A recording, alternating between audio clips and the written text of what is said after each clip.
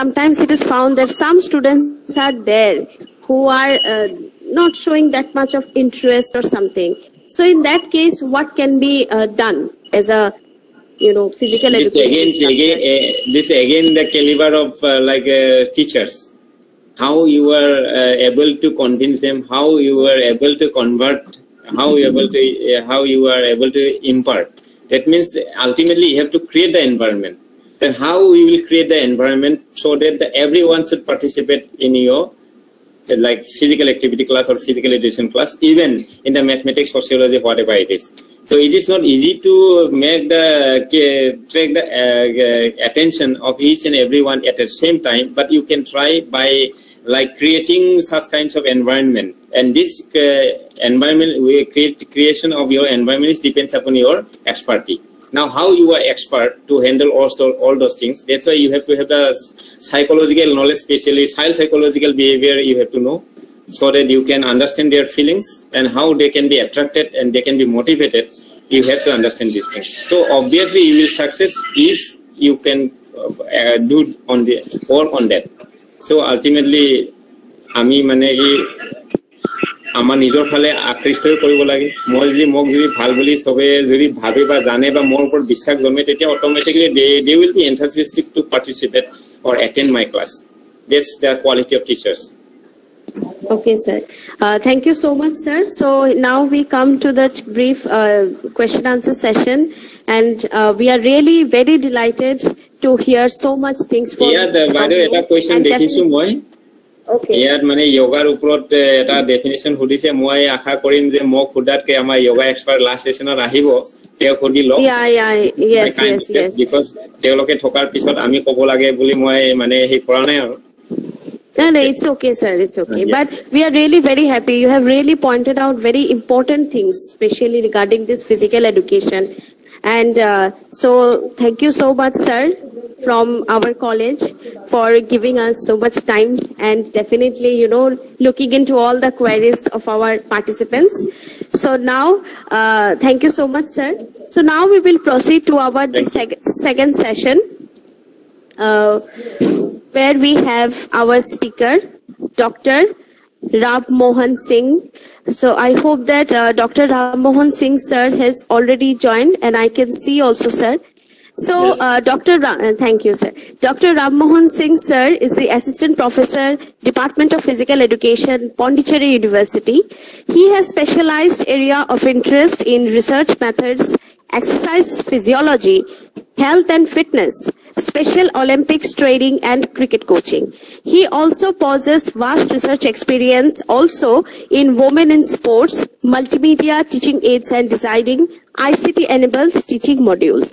He has attained academic qualifications from Netaji Subhash National Institute of Sports, National Cricket Academy, Special Olympics, Bharat and Ramakrishna Mission University, Annamalai University, and he is also a certified BCCI curate from National Cricket Academy, BCCI. So we are very pleased to have you with us, sir, and we are very uh, inviting you and patiently here waiting uh, for your kind deliberation. So over to you, sir. Uh, so please, you can continue. Thank you. Uh, thank you very much for the generous introduction.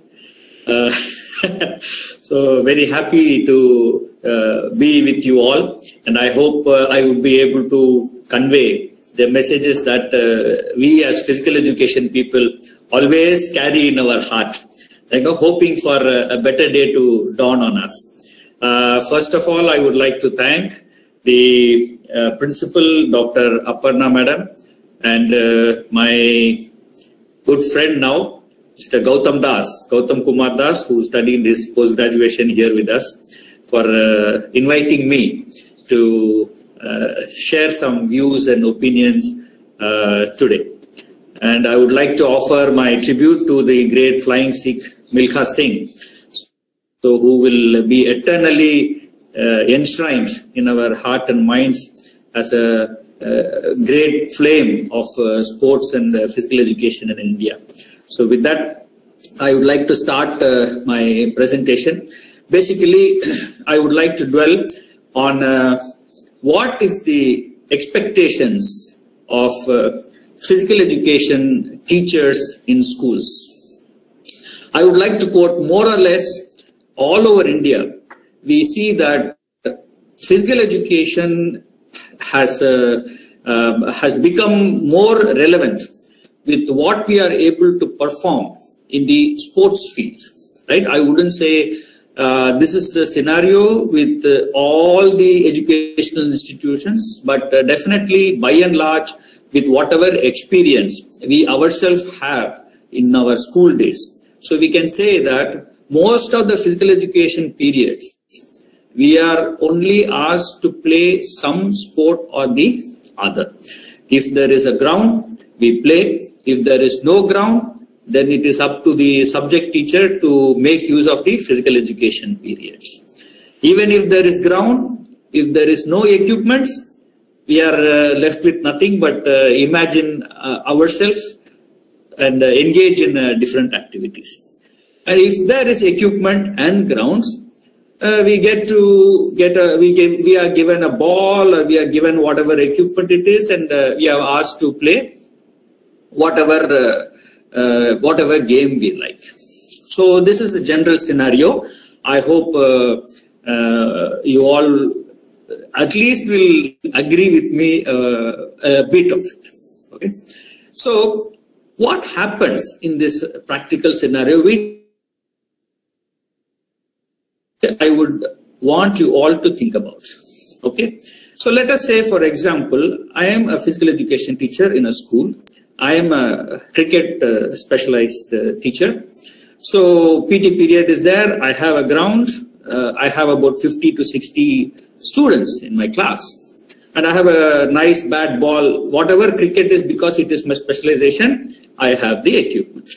So now these uh, 60 students or say for example one or two sections also are uh, coming to me for my physical education class. So I give them, oh guys, come on, cricket is the game of India. Let us start playing cricket. And uh, then I see there are about, uh, from the 60, there are about 10 guys. Now, because cricket is popular, maybe a good chance that 10, 15 or even 20 students could uh, put their hands up. Yes, sir, cricket is the game. I like this person. I love that person. So let us start enjoying and playing cricket. So what happens? Among these 20, there are about uh, four or five guys who will uh, take the leadership role, divide the teams, pick up people who will play well, exclude people who are uh, not good or not uh, friendly with them, right? So make a team and uh, maybe about 25 guys maximum ending up playing cricket.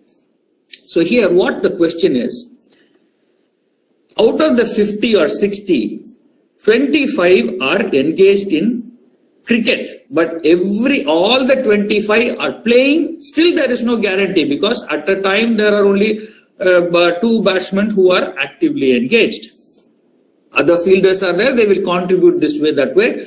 And mostly if you see in school cricket, the domination is that five, six people, that fellow will bat first, that fellow will bowl first, that fellow will field in the choicest place and so on. And most of the others will just be filling up the gap. Even if we put these 25 people aside, the remaining 25 are just onlookers, spectators in their own business.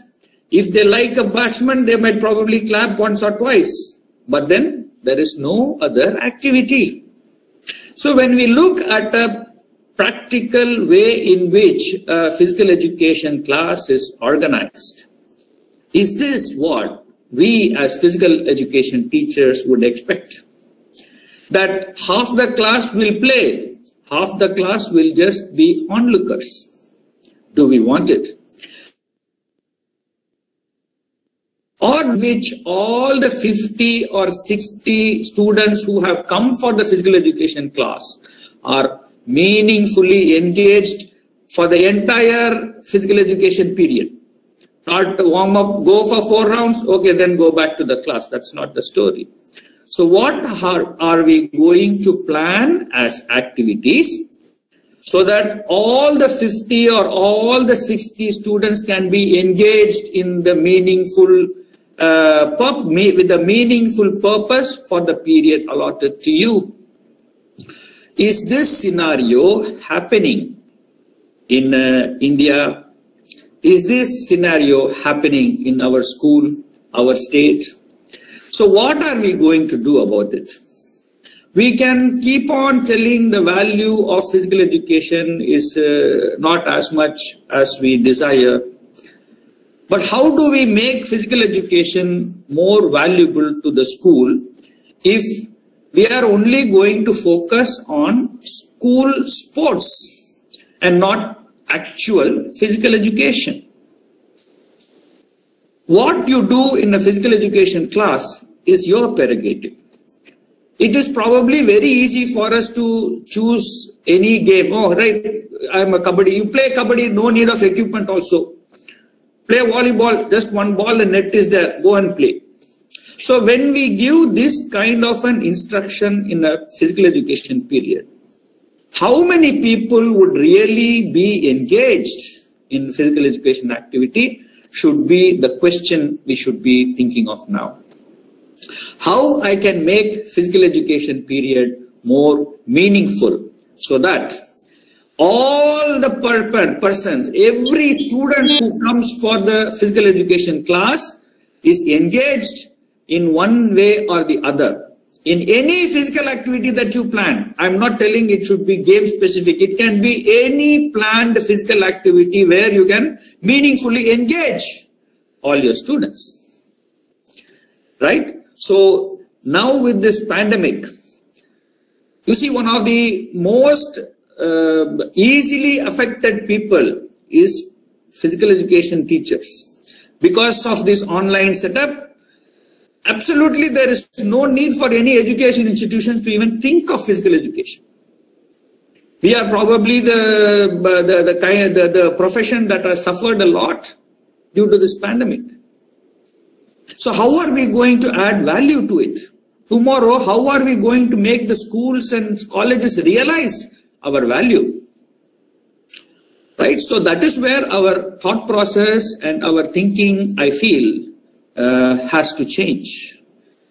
How I am going to equip myself. Today, as we see, it's a zamana of mobile phones, laptops, and uh, computers, isn't it? So when I go to a shop, I already have in mind all the features that I'm looking for. So when I go to a mobile shop or a computer shop, I particularly ask for the features that I want. So when I am making myself available as a teacher in a school, how am I going to add value to the students? Is it only for my sports or is it going to be for entire school students? Or I would say go one step further. You are, you are even responsible for the health and welfare of the teachers, other teachers, as well as the non-teaching staff or the administration people. So why don't we expand our value in the zones which are available to us? Clear? So these are questions, particularly with regard to the new physical education generation that is coming up. How comfortable you are going to be with technology. How you are going to take advantage of what is available so that your value in the school and other educational institutions can increase. You become indisposable. You become a valuable community. People start missing you if you are not there. So such is the kind of mindset, such is the kind of value that we should add. So with this, I would like to start my presentation, right? So basically, I will uh, uh, start, uh, I'll start the PPT. I think the information is there in it.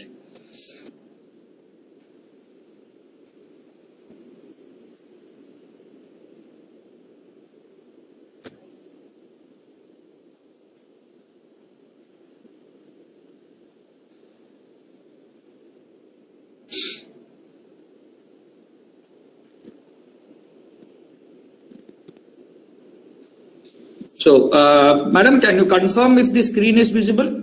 Uh, yes, sir. Yes, sir. It is visible. Okay. Thank you very much. Has the slide changed? Uh, no, sir. Yeah. So we'll keep to this. So before I actually go on to the subject, I would like to start a little bit. I would like to share with you about Pondicherry. See, Pondicherry is in the uh, one of the southernmost uh, union territories of uh, India. And interestingly, Pondicherry consists of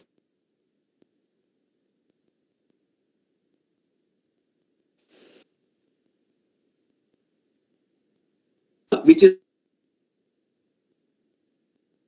about 140 kilometers Mahe, which is in Kerala, northern Kerala, and also in Andhra Pradesh, there is a, another enclave of Pondicherry near Kakinada, which is called Yanam. So all these four enclaves form uh, the, uh, the, the um, uh, whole union territory of uh, Pondicherry. And how this has occurred is that all these four enclaves were under the French rule when rest of India was ruled by the British. So they continue to possess or have the uh, French legacy. And Pondi also is called as the gateway of France, a gateway of in, uh, gateway of France in India. Okay. So what's so good about Pondicherry? Yeah, so there's a lovely beach, uh, lighthouse beach. Uh, you can ask uh, Gautam. Gautam sir will tell you how interesting, how enjoyable the beach is. And uh, there's a lighthouse where you can uh, go on to the tower on a specific uh, time and have a aerial view of the entire Pondicherry town. Pondi is also famous for the Auroville and Mothers and Sri Aurobindo's ashram. Okay, so that is uh, Sri Aurobindo and Mother who have established their uh, very, uh, very, very spiritualistic ashram here in Pondi. And Pondi, as such, is very known for its spiritual leanings. Lot of sages from the uh, from the ancient India have come to Pondicherry and blessed this land. And this round globe that you see is called the Matru Mandir, which is situated in Auroville. It is actually not a tourist attraction, but it is a meditation center. All are you interested in yoga? I could see a lot of questions on yoga. So this place is a meditation center uh, which is situated in Auroville. There is a lot of story behind this Matru Mandir itself. I don't want to discuss more. Maybe sometime later, or you can ask Gautam sir. He will be able to help you. One uniqueness about Pondicherry police, you could have seen the hats worn by the Pondicherry police. This is a French legacy. You see in France, the police are using this shape of cap, which is very unique. You won't find anywhere else in India.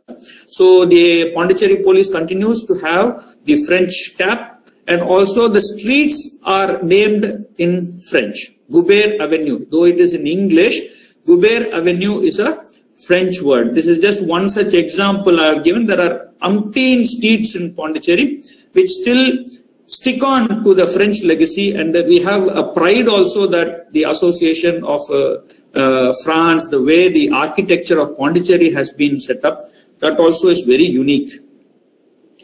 And some highlights of uh, Pondicherry, Aurobindo Ashram, which I told you before, they run a school also, which is one of a kind in India. I don't think there is any other uh, school of uh, such a uh, such a system existing anywhere in India. They don't have, they have, in fact, they have their own curriculum, Sri Aurobindo International Center for Education.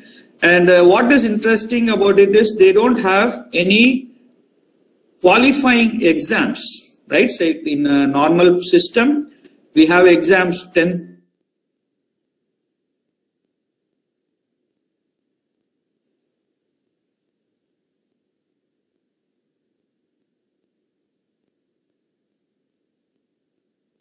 UG undergraduate phase called knowledge. But from kindergarten till knowledge, you don't have to give any qualifying exams, though you give tests, class tests are there, teachers will conduct tests. And uh, the most brilliant part, which I would like to uh, emphasize here, because we are all in physical education, this is probably the school that is giving highest value possible for physical education because during the regular system, now that the pandemic is there, when the regular physical classes were on, every day from 4.30 to 6.30, compulsory physical education activities is prescribed for not only the students, the teachers or anybody who is connected with the ashram. Physical activities is absolute no compromise. 4.30 to 6.30, they call it group and it's not like whatever you want you play. They have their own syllabus. One month of swimming, Monday it is combatives. Tuesday it is hockey. Wednesday it is football. They have their own schedule like this. And each and every student has to compulsorily play all the games which are prescribed in it. The idea behind this is that each and every game has its own unique uh, effect on the musculature of our body. So when you play one game, the similar musculature is only activated day in and day out. So when you play a range of games, you inculcate range of muscular activations inside your body. And they don't look at specialization. They want a wholesome, harmonious body where you get advantage of all the games possible. So that is the concept behind them. They don't they don't compete in any outside state events, state meets and all. They have their own competition because their philosophy is that I do sport for my own benefit. I don't do sport to prove myself that I am better than somebody else. Okay. So that's the idea. This is when our prime minister visited the ashram school and they here every December 2nd, they have the physical demonstration program in the ashram sports ground. This is the sports ground every year on December 2nd.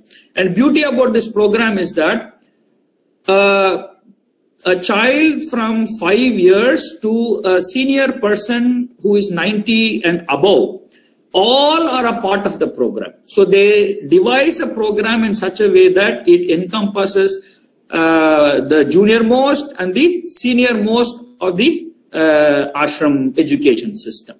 So if you all get uh, any opportunity to have a visit or uh, uh, uh, be a guest in this program, I think as physical education people, we should see because a lot of values that we can take back from what the system is followed in the school.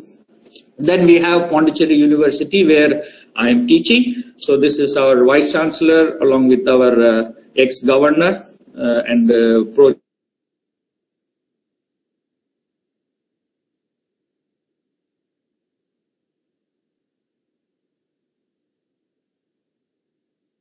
So not much. I just want to specify that uh, the school is carrying the French system. When France is having exam, here also exam. So all the syllabus, curriculum, students, everything is corresponding to France. When the holiday is in France, they also have holiday. This is basically started for the French who are here in India, who are probably uh, living in India, to have a seamless uh, transfer. When they go back to France, they don't have any problem. So this legacy still continues. And uh, even Indians now are uh, can be, get admitted into the school. And this is called Lycée Français. So basically, so that's a small brief that I would like to intro about Pondi. And this is what we are going to do now, look into it. And uh, since we are looking at uh, future as teachers, like how am I going to set myself uh, into the future as teachers? So we will look at uh, how physical education and the new education policy is covered. I'm not going to go much deep into the education policy. Few high points I'm going to discuss and uh, also, see, my view and your view need not match. So we should always have uh, have an agreement that we are able to apply what the main concept is in how it uh, how it applies in my locality. I might be in the school where there is internet, but not many will be able to be having that kind of a privilege. I might be focusing on uh, on uh, one aspect of health, you might be interested in some other aspect. Say, for example, I am interested in posture you are uh, interested in uh, musculature. So these kind of things can be individually separate, but still we are all working towards the goal of physical education and how we are able to adapt or uh, use the concept for our benefit. In our school in the in in solving the problems that we might be facing individually it might be very unique to that area or that system. So it is up to us how we are managing it. So get the basic idea use the idea to your advantage and we will carry forward. So let us look at uh, what is in store for us as far as the new education policy is concerned. Okay. So again, it's not something which we don't know or something that has not been there. So many of us, even though uh, we have been following this kind of a system, but now in this new education policy, there is a greater emphasis. I wouldn't say that uh, things are very rosy for us, but still from what it was existing before, now people are able to understand the value, though they have not yet made it like a compulsory curriculum as far as other subjects are concerned. But there has been some kind of a bridging of the gap. So I'm, I will also be suggesting how we can mingle and do something that can add value to the subject teaching also. And I'm sorry, and thereby help us also, right? So first, first point which is emphasized here it's a multidisciplinary holistic education. So the, the emphasis on academics has uh, uh, come a greater way where people are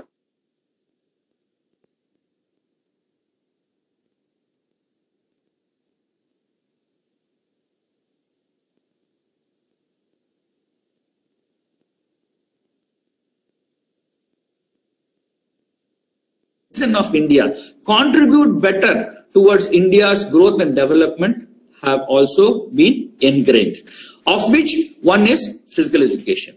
So now, in order to um, uh, to to fulfill this gap, that just academics is not sufficient. Physical education has to some way find alternatives to contribute towards this multidisciplinary uh, options. So how you can contribute towards the academic strength of a student also is of good value for us today, which is emphasized in the new education policy. The curriculum must contain courses that makes education well-rounded, useful. Like say, for example, one of you are very much interested in yoga and you can, uh, you, you, you are uh, uh, you are expert in it, you have learned a lot about yoga, you can contribute through having some kind of a curriculum or courses where you can encourage people to take up. Right? So this, this kind of additional support that we are giving, we have to add value. So now it's certainly not going to have a kind of an exam which will make you pass from 6th to 7th or 8th or 9th. But if you are giving what is required for the students, for the teachers. If he understands like this is going to help me to make my future better, it is going to add value to what I possess. So 100% it is a good step for us to push so that tomorrow the course itself will become highlighted and you will be the person who will have made the difference in the lives of such students. Okay. So sports integration by utilizing physical activities in pedagogical practices, right? So this is another good idea. See, you can, you can, you, you don't have to restrict yourself to the ground. Okay. So you can, you can say, for example, now biology is maybe one subject where a lot of connection which we can do towards health, sports, physical education and biology. So how you can teach biology better how you can teach mathematics better by using concepts in sports.